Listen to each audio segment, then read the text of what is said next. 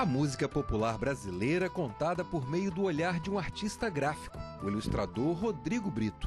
O resultado são sete quadros em nanquim com aquarela, que retratam um pouco da história e da arte de compositores como Tom Jobim e Chico Buarque de Holanda. Onde andam seus olhos que a gente não vê? A exposição faz parte da coleção Compositores da Música Brasileira, que homenageia ainda ícones como Toquinho, Cartola, Jorge Benjor, Paulinho da Viola e Vinícius de Moraes. Tudo acompanhado por textos primorosos que valorizam a cultura brasileira. Falar de amor em. A exposição é multimídia e acompanha um vídeo com parte da história dos grandes nomes da MPB. Para o artista, uma paixão que mistura música, pintura, recursos gráficos e digitais. É uma tendência contemporânea do artista não ficar preso numa coisa só.